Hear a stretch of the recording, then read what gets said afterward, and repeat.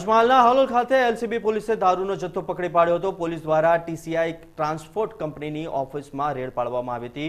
ડેરોલ ગામના વ્યક્તિએ ફરીદાબાદથી ટ્રાન્સપોર્ટમાં દારૂ મંગાવ્યો હતો. પોલીસને થાપ આપવા માટે દારૂના ખોખામાં સેલોટેપ મારીને પેક કરવામાં આવ્યો હતો. પોલીસે પાંચ પેટી ચોર્યાસી હજારની કિંમતનો દારૂ ઝડપ્યો હતો અને દારૂનો જથ્થો કબજે કરીને એલસીબી પોલીસે કાયદેસરની કાર્યવાહી હાથ ધરી હતી.